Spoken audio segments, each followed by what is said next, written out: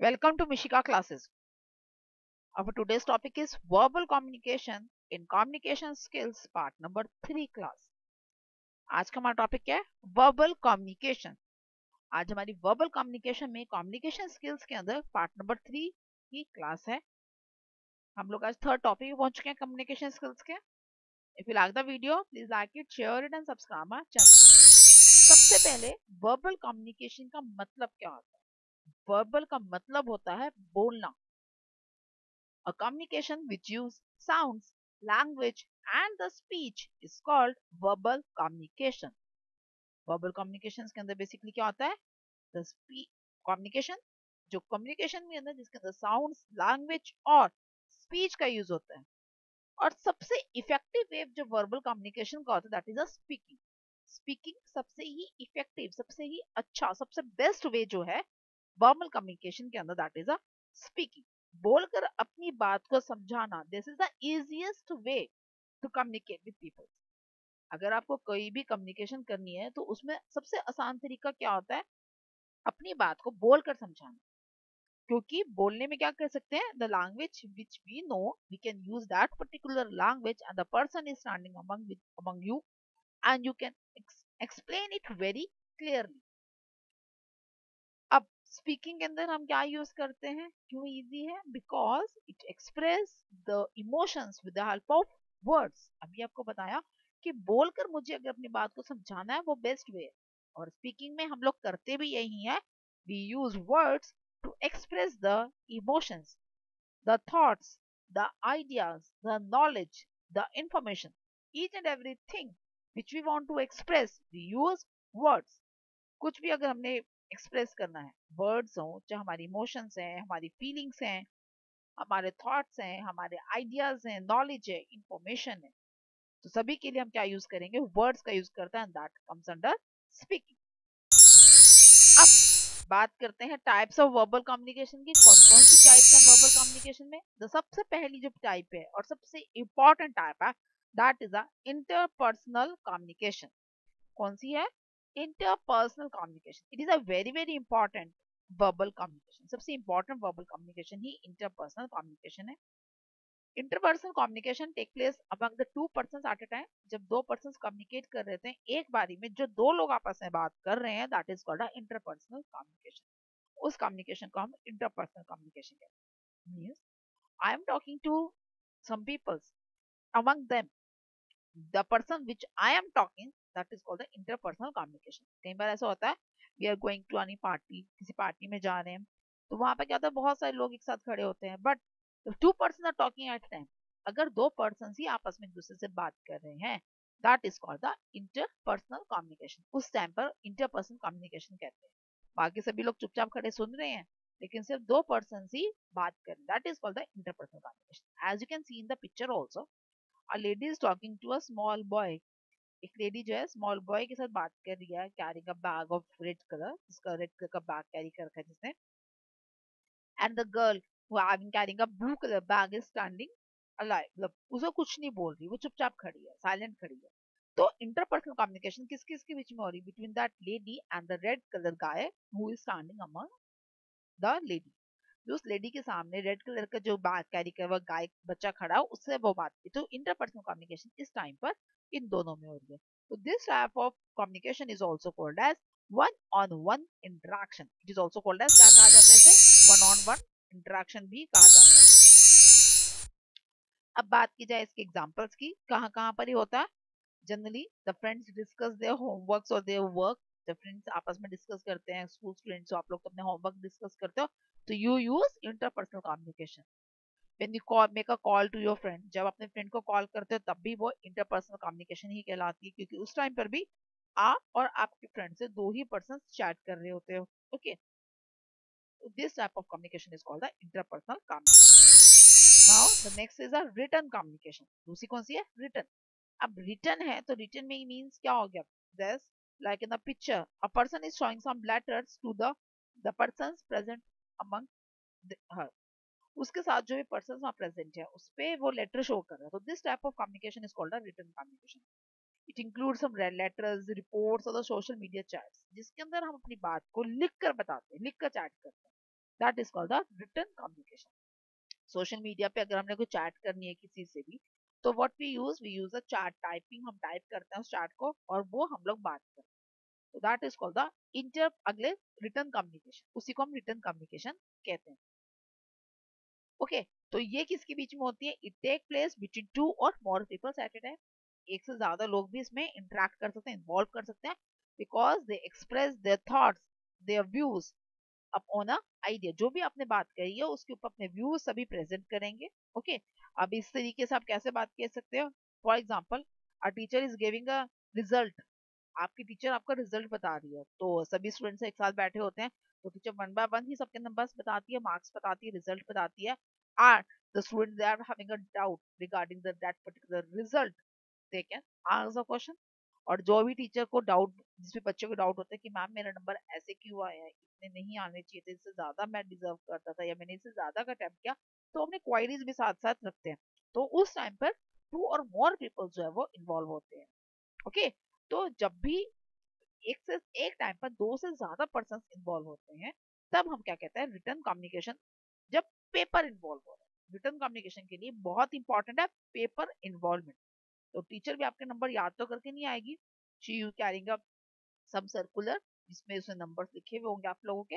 That is called a written communication उसके बाद small group communication what is a small group communication small group communication is again among the multiple peoples engaged together जब interaction बहुत सारे peoples में एक साथ होती है that is called a small group communication as same as that your uh, written communication but in this there is a not a necessity that you are having some written data इस time पर ज़रूरी नहीं है कि कोई return data teacher के पास या किसी के पास भी हो for example a teacher is explaining a topic to you कोई टीचर आपको टॉपिक एक्सप्लेन कर रही है।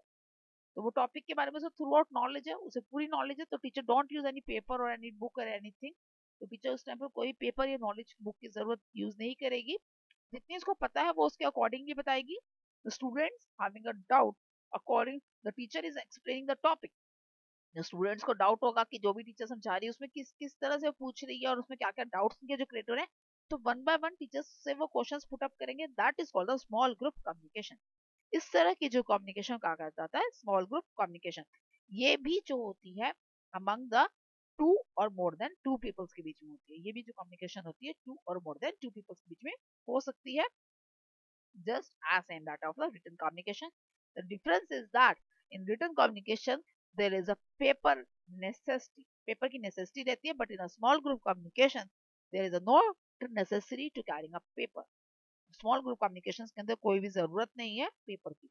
इसका सबसे अच्छे example press conferences the board meetings okay board meetings होती हैं या प्रेस मीटिंग्स होती हैं या प्रेस कॉन्फ्रेंसेस होती हैं that comes under a small group organization या small group communication next the public communication as you can see the picture also speaker is speaking something and the audience is listening So in this, one person is addressing a large gathering. इसमें एक ही person खड़ा और बहुत सारे लोगों को अपनी बात को बता रहा है this type of communication comes under the public communication publication public communication में क्या होता है जनरली अब स्कूल असेंबलीज के अंदर a student is giving a speech and the whole the students present in the, that particular assembly the teachers everyone is listening the speech given by that particular student इस तरह की जो gathering होती है, वो आपके स्कूल असेंबलीज में होती है। स्कूल असेंबलीज में एक ही पर्सन एक टाइम पर बोल रहा होता है, बाकी सभी उसको सुन रहे होते हैं। तो that type of communication is called the public communication उसको आप क्या कहोगे? पब्लिक कम्युनिकेशन कहोगे।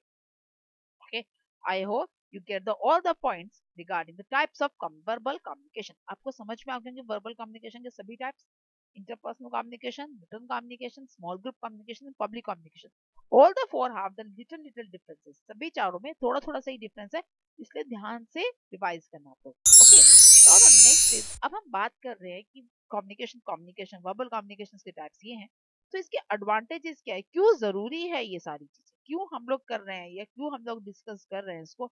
और इसमें क्या एडवांटेज है वर्बल कम्युनिकेशन सबसे बड़ा advantage it is very easy because in this we can use straightforward words which we know ये सबसे इजी होती है वर्बल कम्युनिकेशन क्यों इजी है? क्योंकि जो भी हमें बोलते हैं, जो भी हमें समझ में आता है, उसके अकॉर्डिंगली हम बात करते हैं।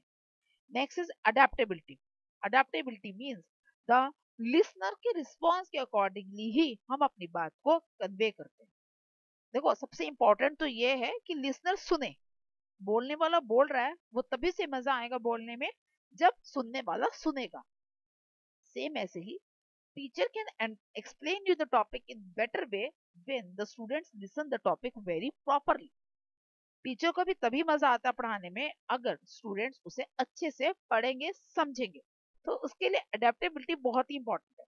तो इसमें लिसनर के रिस्पॉन्स के अकॉर्डिंगली ही जो सेंडर होता है या कह सकते हो जो रिसीवर के रिस्पॉन्स के अकॉर्डिंगली ही जो हमारा सेंडर है, वो अपना मैसेज को कन्वे करता है।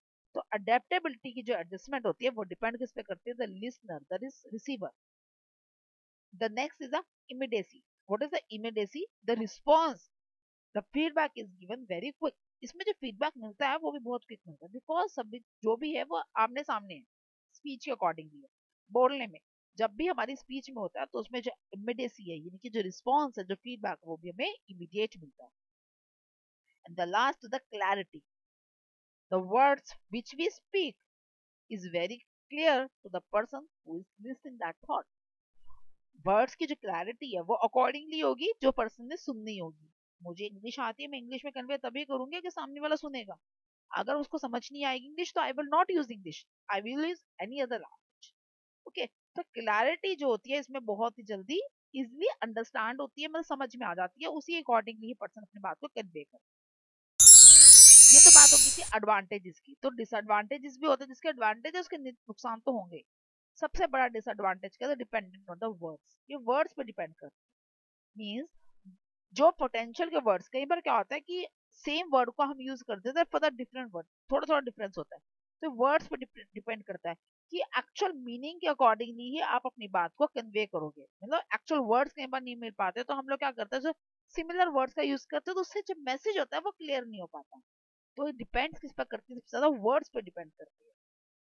उसके बाद सब कुछ बोल रहे हैं, लिख तो कुछ भी नहीं रहे if there is no written task तो देर इज़ नो रिकॉर्ड कोई भी रिकॉर्ड ही नहीं होगा।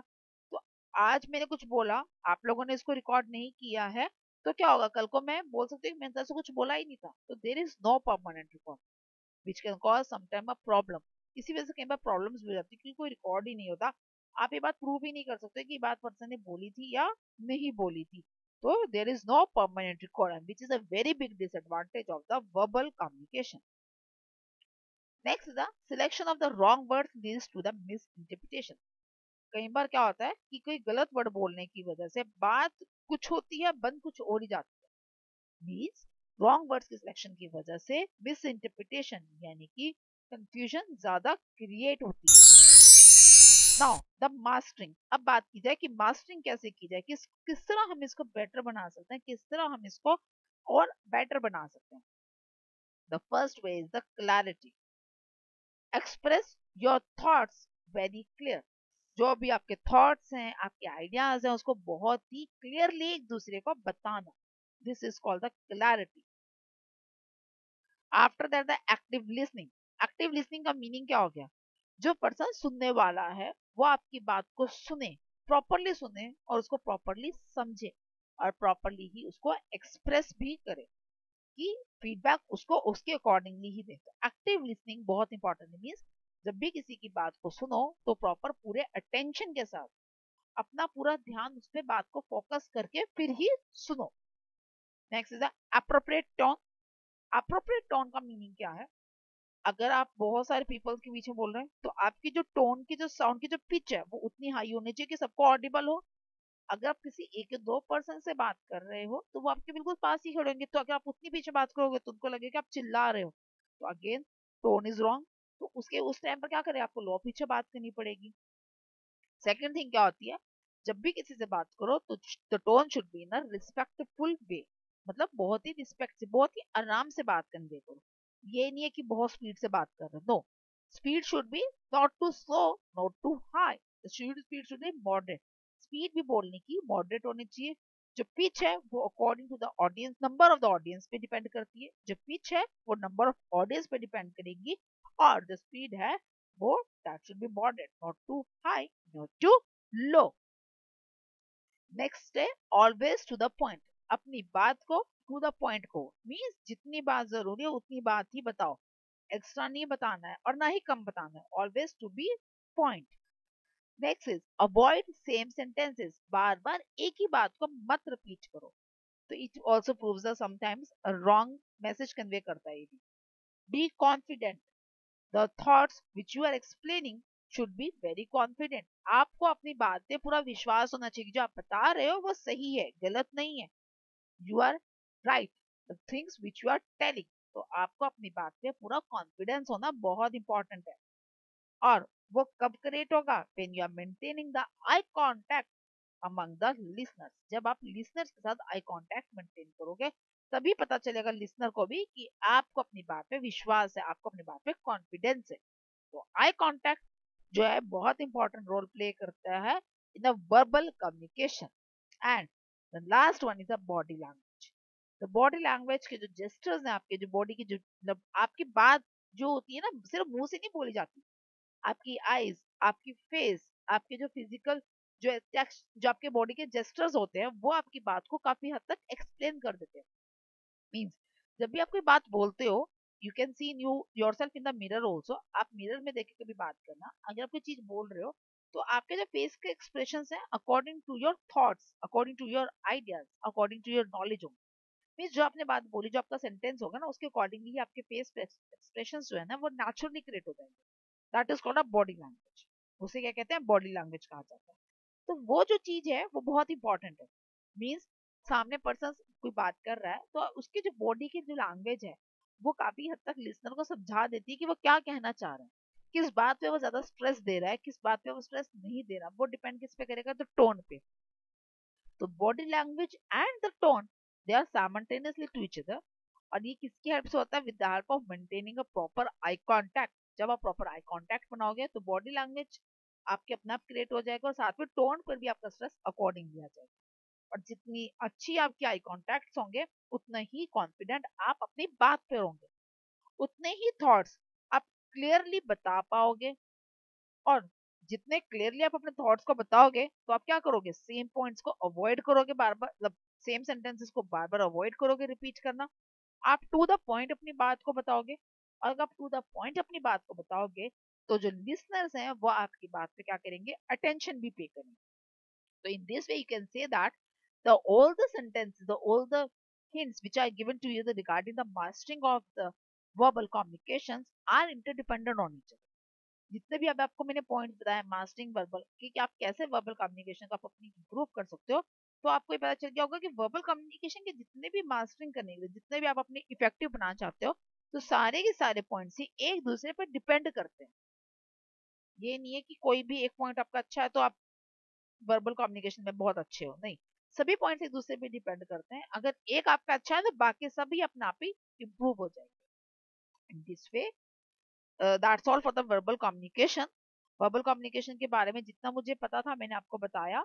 In next class we are going to discuss about the non verbal communication that is the second method how to convey our thoughts among the people और वो दूसरा तरीका non verbal communication कि कैसे हम अपने थॉट्स को दूसरों को एक्सप्रेस कर सकते हैं दूसरों के सामने बता सकते हैं If you any doubt in verbal communication, you can comment. Thank you.